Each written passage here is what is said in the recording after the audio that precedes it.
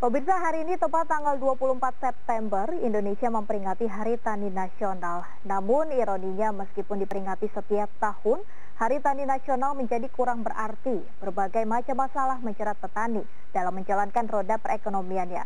Untuk itulah pemerintah perlu mengawasi setiap subsidi dan bantuan alat pertanian yang diberikan sehingga bisa sampai ke petani yang benar-benar membutuhkan.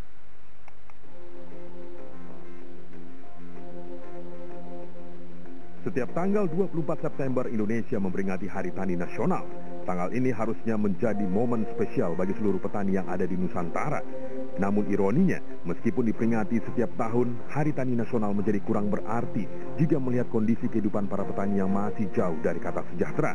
Berbagai macam masalah menjerat petani dalam menjalankan roda perekonomiannya, seperti yang dialami oleh Saiful Bahri, petani dari desa Telaga Sari Karawang, Jawa Barat ini mengeluhkan mahalnya biaya produksi yang dikeluarkan untuk menanam padi. Kalau benih sih kadang-kadang saya mah ini sendiri gitu Pak. Jadi ngolah, bikin sendiri. Jadi kalau beli soalnya mahal. Oh begitu. kadang-kadang dari bantuan juga ada sih bantuan, tapi kita mesti nebus juga, mesti bayar juga. Nah kalau pupuk ya kadang-kadang kena mahal juga posisi kadang pas giliran dibutuhkan itu pupuk langka. Permasalahan Saiful Bahri dijawab pemerintah Indonesia dengan pemberian subsidi. Melalui Kementerian Pertanian, subsidi disebar untuk seluruh petani di Nusantara. Ada subsidi input, ada subsidi output. Inputnya adalah pupuk, benih, dan seterusnya. Juga ada bantuan pemerintah, alat mesin pertanian. Outputnya adalah ada rastra. Kita subsidi di sana, kurang lebih 18 triliun. Namun niat baik pemerintah ternyata tidak sepenuhnya bisa dinikmati para petani.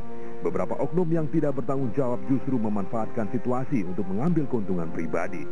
Tapi ya selama ini ya saya nggak pernah nggak pernah dapat itu pak. Nggak pernah dapat bantuan Iya kayak traktor aja saya masih tetap bayar ya kalau hitungan per hektar itu satu juta gitu. Hmm. Jadi satu hektar teh sejuta. Sejuta. Iya.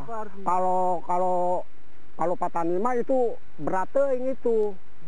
Selama biaya produksi yang mahal tidak sebanding dengan hasil panen yang didapat, maka kata sejahtera hanyalah sebuah mimpi yang tidak akan pernah menjadi kenyataan bagi para petani. Untuk itulah pemerintah perlu mengawasi setiap subsidi dan bantuan alat pertanian yang diberikan sehingga bisa sampai ke petani yang benar-benar membutuhkan. Tim Liputan MNC Media melaporkan.